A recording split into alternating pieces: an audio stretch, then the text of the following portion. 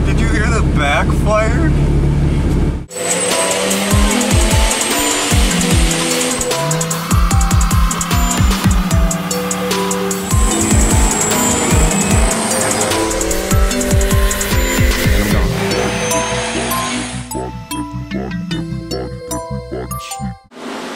What is up guys, Eric here from Racing Ram Fam, and today we are going to be installing an exhaust evacuation system for my 2004 Dodge Ram SRT10 Turbo. If you guys are with the channel, you guys know this baby. If you saw my last video, we got the new turbo uh, set up and new turbo kit set up and everything. And today we're going to be installing an exhaust evacuation kit, which actually is a new crankcase breather. So what it does is kind of like a vacuum pump.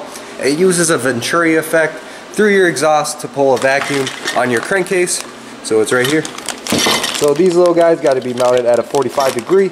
The exhaust flowing by it uh, pull air out this way and it puts a vacuum on the actual crankcase to help relieve uh, crankcase pressure and all that stuff. We're having a little issue with crankcase pressure because my turbo leaks a little bit because due to the fact of all the crankcase pressure because my catch can breather is just not big enough for the amount of boost and power and engine size of this 505 cubic inch Viper V10 we got this little filter right here. Uh, it's just not kicking it no more. If you blow in the actual drain tube of the turbo there's a lot of pressure in there. So today we're going to be hooking up the exhaust evacuation kit. And probably heard me say it 300 times but we're to be mounting this in the downpipe of my turbo. Uh, hopefully this works. It should work pretty good, uh, but we'll find out. I mean, I've never used this before. I figured it out from a friend, and it sounded sweet, so I had to try it. So here's our downpipe right here. I just got done mocking this up and adding a little bend to it and TIG welding it up. So somewhere in probably this location, we will be welding in these guys right here at a 45 degree angle, two of them uh, like three quarters of an inch in. I have to look at the directions again to be exactly sure. And then these guys right here, these ones right here are actual check valves. Those thread onto these that are welded to the downpipe. And then you run uh, 5 ace heater hose from here. They come with new uh, crankcase breathers, but we're gonna use the stock ones because those are drilled out already and just straight hole from the motor. No baffle, no nothing. There's no PCV in there. It's just a hole in the valve cover, and that's what you need. So that is what we are going to be doing. So right now we're going to hook that downpipe back up and figure out exactly where we want to mount them. And then we will drill our holes, wall them out a little bit so we can get that 45 degree tilt of that little Venturi guy. And yeah, we're just going to keep ripping on it.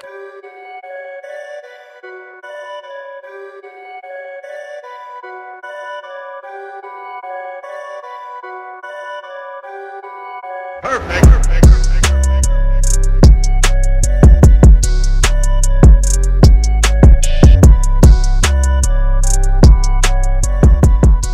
So we got those two fittings welded onto the downpipe for the evap um, exhaust evac system. You can see them right there.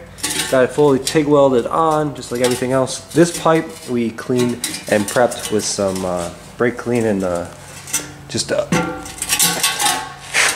little sandpaper. And then we actually flattened it a little bit to try to give it a little bit more wheel clearance while it's in there because it does go down the wheel well. Um, so now what we're going to do is take apart the rest of the turbo kit, prep it, and we are going to ceramic coat it all with some VHT flame-proof exhaust header paint right here. Hopefully it holds up well. Um, the problem is right now all the ceramic coat places aren't opened due to the epidemic, but other than that we are just keep grinding away. So now we're going to pull the full turbo system out get it out, uh, get it all cleaned up with some acetone and a wire brush, emery cloth. That's what it was. And yeah, so we're gonna take turbo out, take manifold out, take cross pipe off, uh, weld in the bung for the O2 sensor. I got my wire extensions in the mail, so we'll get that all hooked up and get it all painted, and then hopefully tomorrow we can put it all back together and go for a good test drive. Fingers crossed.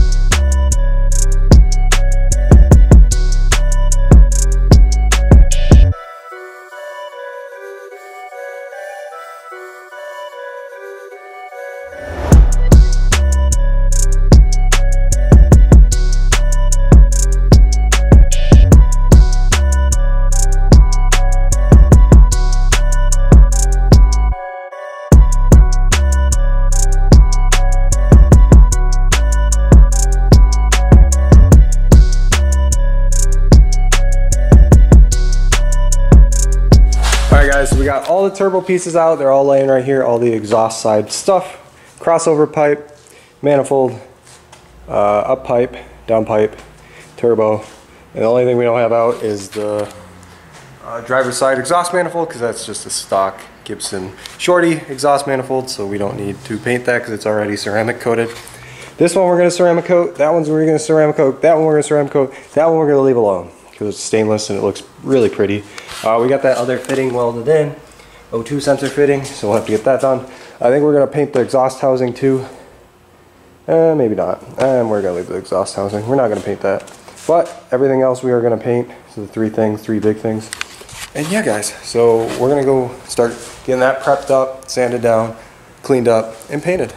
All right, guys, so now we're in my other garage. We got all the parts hung up and we're ready for some of this VHT, all sanded down with some sandpaper and a Brillo pad and cleaned it all with some brake clean. So we're ready to start spraying. And then we'll let this guy cook in here. We have a heater in here, so we'll let it cook in here after we get about three to four coats on it. Yeah, I'm gonna get this all painted. Let's do finished project.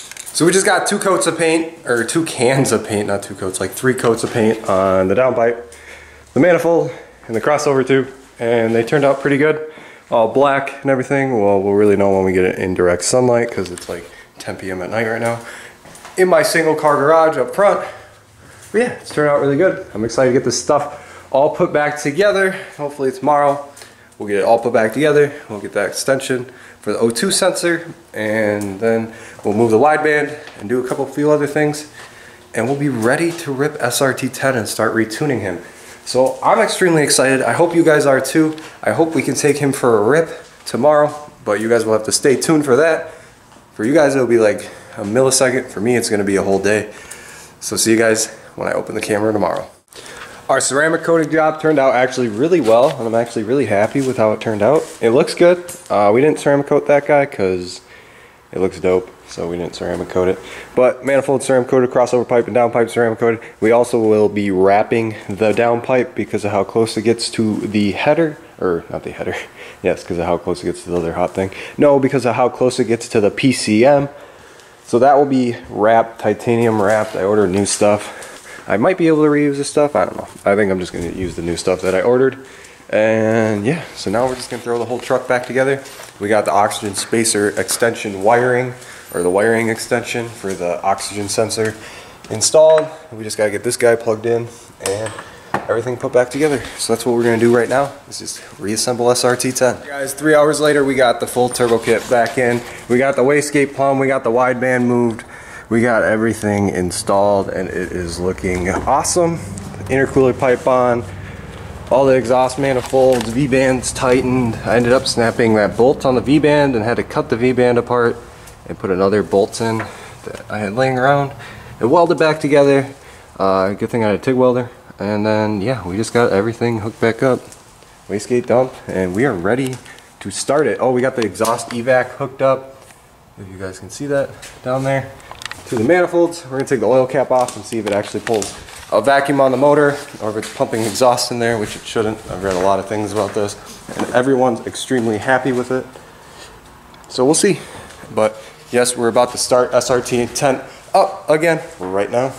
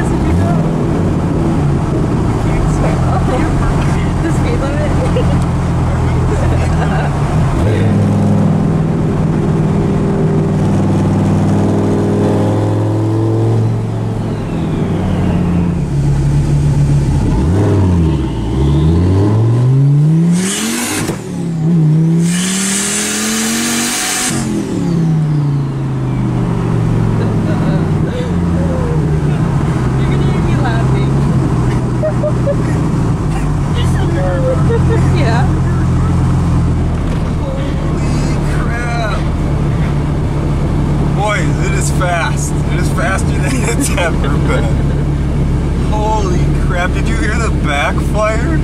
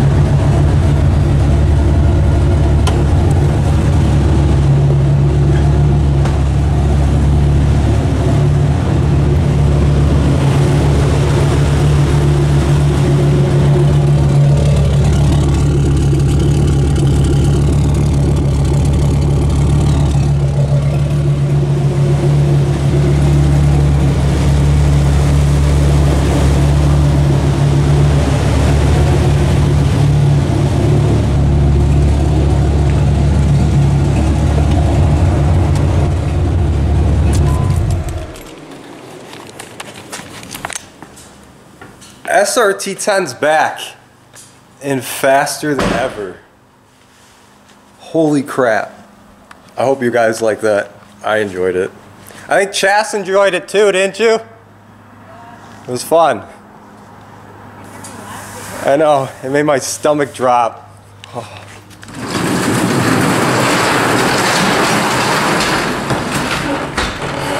Gotta get a GoPro on this thing. It shakes just the whole interior. It's crazy, guys. SRT 10's a monster. She really is. So we got finished wrapping the exhaust. Hopefully we didn't melt anything. I don't think we did, but I want to still wrap the downpipe with titanium wrap. So we still got that to do, and then we got to put the wheel wells back in because there's no wheel liners in right now. And then we might have to get wheel spacers because the wheel's hitting the exhaust or small spacers or something. We just gotta do something about that because I don't, I'm not a big fan of that. But yes, guys. SRT 10's a monster. Got chills. It just shreds the tires. It's fast. It's awesome. All right, guys. Thank you for watching. As always, keep it boosted. We'll see you guys next time.